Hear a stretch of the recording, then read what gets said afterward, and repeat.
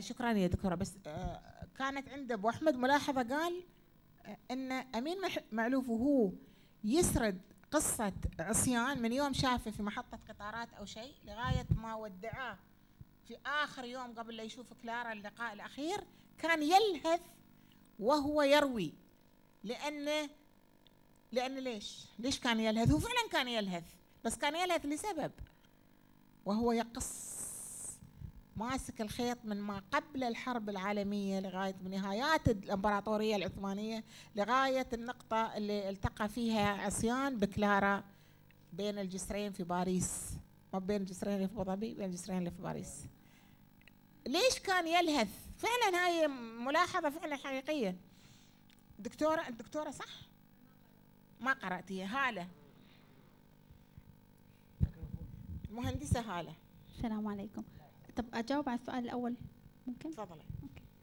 آه، أنا أظن أن لو ما رمس عن ال- ال- الحرب العثمانية ما كان مشت الحبكة بهاي الطريقة. ليش؟ لأن ال- الحرب العثمانية يعني وبداية انهيار العصر العثماني هو اللي خلى الحر... ال- ال- ما هو الإمبراطورية الإمبراطورية. إيه. هو اللي خلى هذا الانهيار يخلي يوصل لمرحلة التناقض والضياع اللي عاشها البطل. ويمكن هم الأسوأ الأسوأ يعني من الأشخاص اللي عاشوا عاشوا في هاي الفترة. ليش؟ لأن يعني على حسب الدراسات كلهم مروا بهاي الأزمات. فأنا أظن لو اختار شيء ثاني ما كان مشى سيناريو وحبكة الكتاب بهاي الطريقة. آه، يعني بنية النص كانت تقتضي. ذلك. يعني ما ما ما في شيء ثاني كان ممكن يحطه وتبتي من البنية مالت الكتاب بهاي بهاي الطريقة. كمية التناقض اللي عاشها البطل يمكن ال ال الانهيار مال الإمبراطورية هو اللي خلاه يمشي بهاي السؤال الثاني؟ لأني ما ركزت. عندك كان السؤال. لا هذا السؤال الأول سؤال اللهاث اللي كان يركض عشان يلم كل هاي الأحداث وكل ال- من كثر الضياع اللي عاشه طول الرواية. يعني إحنا ال- البطل عاش كمية ضياع وايد كمية بس هو ما كان. بس هو ما كان ما أدري يتفقون معي الأخوان في هالجهة هو ما كان يروي قصة عصيان فقط. لا هو عصيان كأنه أسقط على جميع اللي عاشوا في هاي الفترة.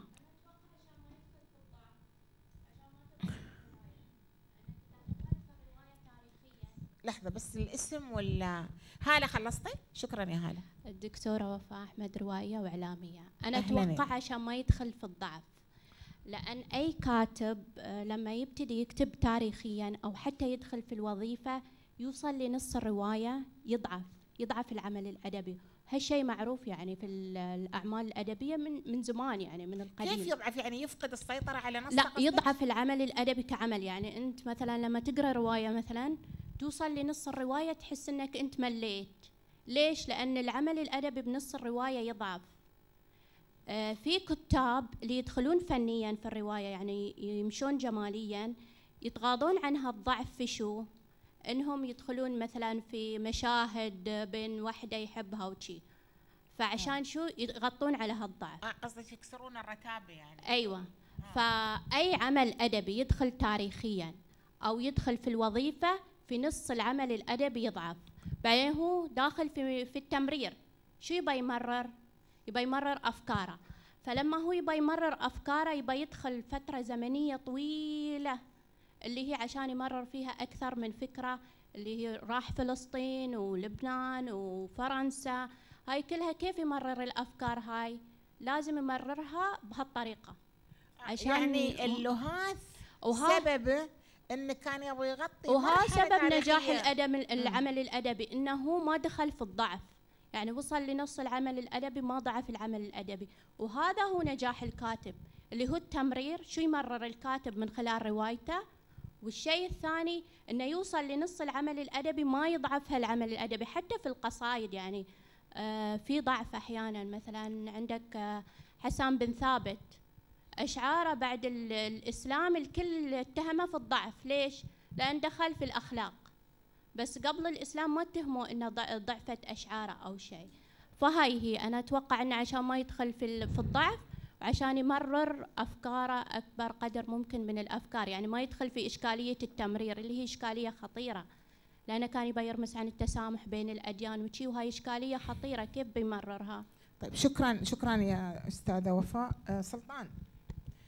عادة عادة معروف إن آه، الروايات عشان تنجح لازم يعني يكون فيها خلطة.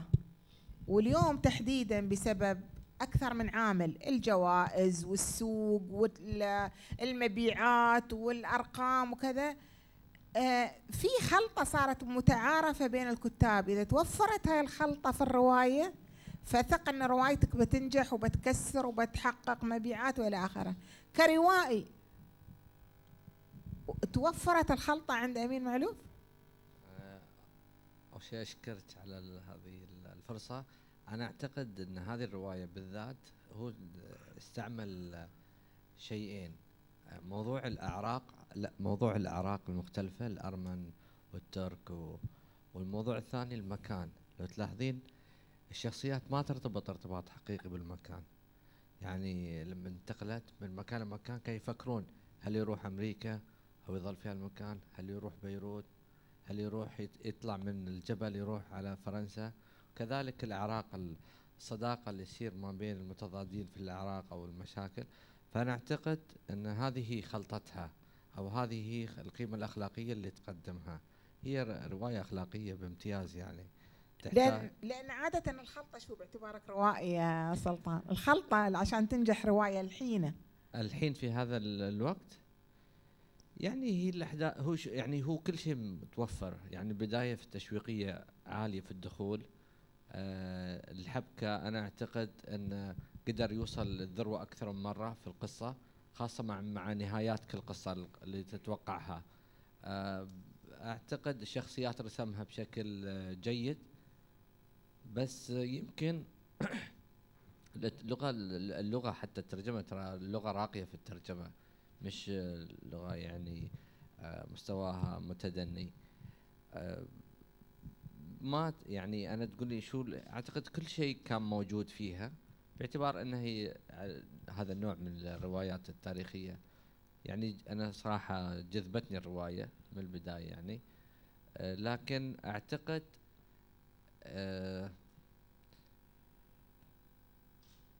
يعني إذا بنتكلم على تداخل القصص بينها وبين بعض يعني ممكن يكون هذا الشيء الوحيد اللي أخل في الرواية. أنا أنا مش يعني مش مع هذا التداخل اللي يخلي القارئ يحاول يتذكر القصة اللي قبلها. وبعدين في تساؤلات مثلا أنا وأنا أقرأ رواية تاريخية هو يجيب الاسماء ما لاحظتوا؟ إذا يمكن أنا فاتني هالشيء. مثلا السلطان اللي انتحر في في القصر ما قال اسمه حتى أنا فتحت ادور احاول أعرف مين هذا اللي انتحر في في الإنترنت. هذا لسبب أنا أعتقد. شو السبب؟ لأنه ما يكتب تاريخ. أيوه. لأنه يكتب رواية ما يكتب تاريخ يعني. م. عشان ما يدخل في القصة وما يتهم بأنه جاهل بهالفترة أو انه ما لأنه لو ذكر السلطان بيضطر يصير يذكر أشياء كثيرة مرتبطة بهذا الزمن أيوة. إن هالزمن ما صار في كذا ما صار في كذا هو ما كان معني بهاي القصة هاي وجهة نظري يعني نعم. معلوف يتكئ على التاريخ ولا يكتب التاريخ والمفروض يعني ويكتبه بشكل واعي لأن قبل أعتقد أيام جورج زيدان كانت الروايات التاريخية فيها شوية نوع من ال هني ما أعرف ما أعرف إلى أي مدى اللي يكتب رو... أنا يعني ما أعرف في أي مدى اللي يكتب رواية تاريخية عنده قدرة على التصرف. يعني ما أدري مين قرأ لي قرأ لي امين معلوف سمرقند مثلا اللي يذكر فيها كثير من الأحداث. هذا يذكر فيها. يعني يذكر فيها نظام الملك ويذكر فيها آه، حسن من الصباح الحشاشين وعمر الخيام. أنا ما أقدر أتأكد بأي حال من الأحوال إن هاي الأحداث اللي رواها حصلت بالفعل مع إن البطل كان فيها عمر الخيام ونظام الملك و... و... وإلى آخره. يعني هاي هاي شخصيات ما نقدر إحنا نشكك فيها لأنها موجودة.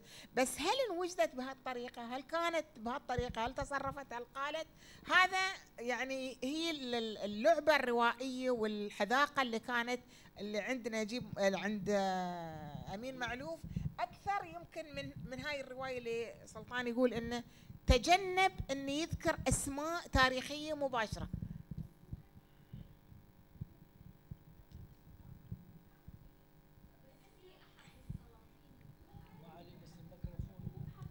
آه ما إحنا لو دخلنا ترى أيوة. الحمد لله إنه ما ذكر لأنه لو ذكر ما بنطلع من هاي التفصيله لأن اللي قرأ الأمين أكثر من مرة هو يبدأ يبدأ بشيء له علاقة بالتاريخ ولكن لا يؤكد ولا ينفي.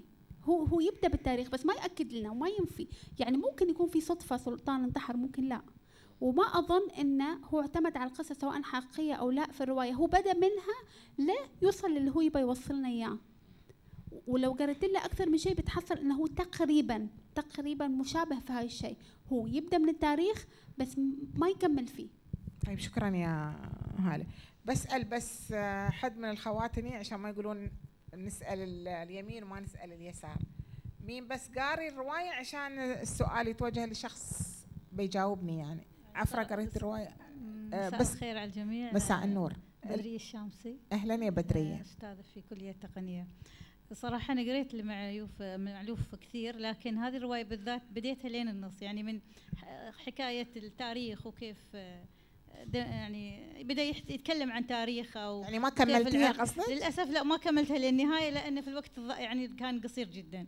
فعجبني في البدايات يعني كيف كان يعني ما أدري هل هو دائما هالعرق ال- إن الواحد يعتز بعرقه أو نسبه إنه دائما يذكر إنه هو ينتسب للعائلة التركية الفلانية وهكذا. وبعدين يعني وصلت لين نصه صراحة فما كملت عن حكاية الأم اللي أو مثل ما نقول التهمة اللي اتهم فيها الدكتور انه تزوجها رأفة فيها ولا علشان يعني ال- الحكايات اللي دارت حو- حول الدكتور وكذا. فجدا صراحة رائعة. أم، للأسف إني ما كملتها للنهاية. شكرا يا شكرا. عفرة بسالك سؤال ممكن؟ قريت الرواية أعتقد. طيب. عفرة كيف رسم أمين معلوف شخصية عصيان؟ مع أنه أعطاه اسم عصيان لكن رسم شخصيته بشكل مغاير تماما وجهه نظري. شو وجهة نظرك؟ وما كان عاصي؟ أنت قولي لنا كيف رسم؟ لأن أمين معلوف كثير يهتم برسم الشخصية لدرجة أن يوم تقرينه تحسين إن هالشخص تعرفينه ويعني يلازمك يعني حتى لما تتركين ال- الرواية تحسين إن هذه الشخصية تبقى معك. يعني معناته إن هالكثر كان كانت واضحة الشخصية و وصارت بينك وبينها. فإلى أي درجة رسم شخصيته وسماه عصيان؟ ويمكن كان متمرد على أبوه عشان الاسم نفسه. ف... بس كان متمرد طول حياته شفتي؟ هو التمرد كان هرب بالنسبة له هروب يعني عشان يهرب من من الواقع اللي يعيشه تمرد على أبوه. بس حتى بعدين هو خذا خط التمرد من غير قصد يعني يعني دخل مثلا في الحرب وصح إنه كان بش إنه مراسل أو هذا بس لا لا ما دخل في الحرب دخل كمقاومة سرية مقاومة قصدك. المقاومة إيه، السرية إيه. يعني يعني جزء من الح- الحرب هاي إيه. تعتبر إيه أوكي فدخل في المقاومة م- من غير ما هو يقصد إنه هو يدخل فيها يعني حتى هو كان عاصي من غير ما هو يعرف نفسه إنه هو عاصي طيب ما أدري يعني أنا هاي الفكرة بالنسبة أنا أحس إن شخصية عصيان ممكن نتكلم فيها بس أنا أبغى حد. دكتور. دكتور أبو خالد. إيه. الحمد لله ما حد غيرك. أي.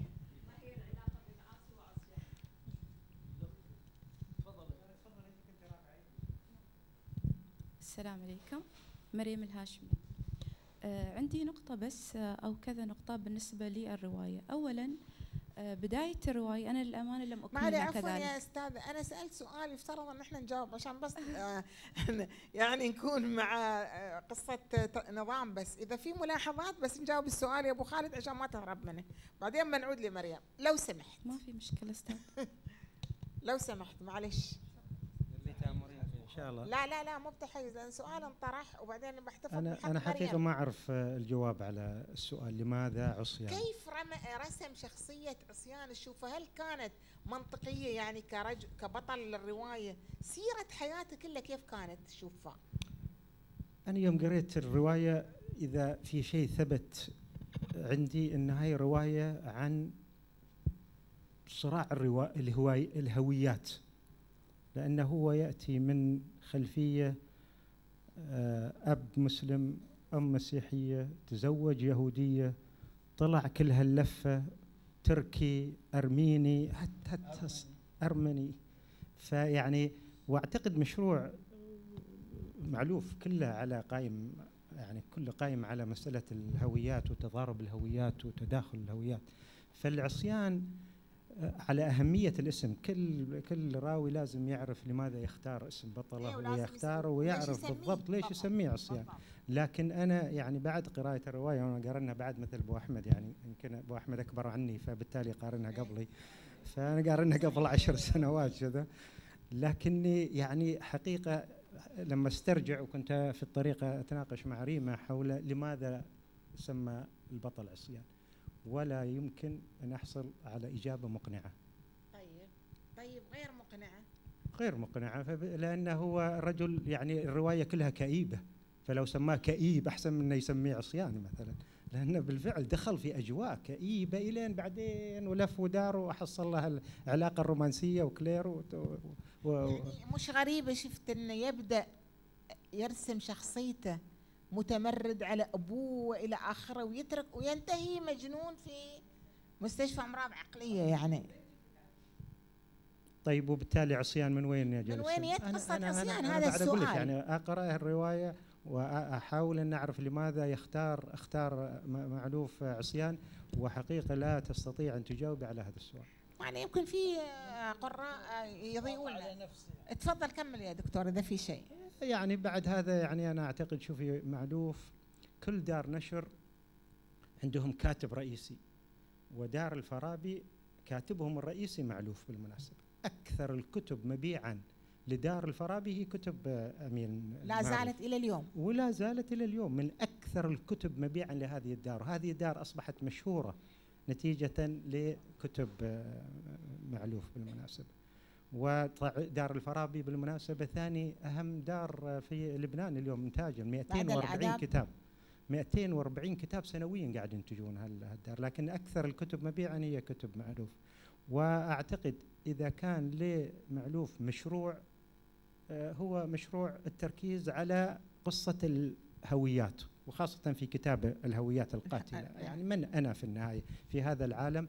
ورواية موانئ ألفت سنة 1991 فالمشروع قديم من 1991 وهال وهال وهال وهالصراع إلين آخر كتبه اللي هو روايات آه، كتاب الهويات القاتلة على كل هاي من الروايات ال- أنا لا أعتقد موانئ الشرق أحسن روايات لا لا. ابدا ولذلك ما أعرف ليش اخترتوا موانئ الشرق. لأن بالنسبة لي مثلا آه، سمرقند. ليون الافريقي هاي رواياته اللي هي الأكثر رواجا فسؤالي لك لماذا اخترتوا موانئ الشرق بدل ما تسالينا خلينا نسألك لا ما رغم. إنها رواية ممتازة. بالمناسبة لكن. لا أعتقد إنها من أفضل روايات أمين معلوف إيه بالفعل نعم. والصخرة الطانيوس. الصخرة الطانيوس يعني شو فذه هذيك الرواية فكرة مثلاً. فكرة الهويات فعلا فكرة كثير ملحة في هذا الوقت يعني وخاصة بعد هذا تدفق الهجرات المهول بعد قصة الربيع العربي أو ثورات العالم العربي يعني اليوم المهاجرين العرب اللي هم بجميع جنسياتهم اللي هاجروا في ال- إلى الغرب اليوم كلهم أمام سؤال الهوية على فكرة إلى أي درجة هو عليه أن يذوب في المجتمع الغربي لكي يصبح غربيا ألمانيا أو شرقيا أو إلى آخره أو أن يظل محتفظ بسمات شخصيته وإلى أي درجة الغرب مستعد أن يتعامل مع يعني أعتقد أن هاي قصة شوفي أنا قارئ نهم. يعني. أنا قارئ نهم للرواية وأعشق الرواية. يمكن أقرأ في السنة أكثر كتبي آه، قراءة في الرواية. لكن في روايات لما روائيين لما تقرير لهم في رواية تبقى. هذه الرواية لا تبقى في الذاكره روايات أخرى الم- مألوف تقرا ت- تبقى في الذاكرة. آه، اليوم كنا في القمة العالمية وواحد من الكتاب آه، المتحدثين ما أدري يمكن أبو نبيل كان موجود كان يقول أن هناك من يقرأ غير الرواية non-fiction شو ترجمة non-fiction إيه هناك من يقرأ كتب الغير الرواية. وهناك من يقرأ الرواية وهناك من يقرأ الخيال العلمي. وخلص إلى نتيجة الدراسة إن من يقرأ كتب الغير رواية يعيش في الماضي ومن يقرأ الرواية يعيش في الحاضر ومن يقرأ الخيال العلمي يعيش في المستقبل. فكان ينصح ان يا جماعة من الحين رايح إذا تبغى تعيشون الحياة الحقيقية اجمعوا بين هالثلاثة وليس فقط تركزون على هذا لكن أنا أحب الحاضر وقاعد أقرأ الرواية أكثر من أي كتب أخرى في الوقت الحاضر.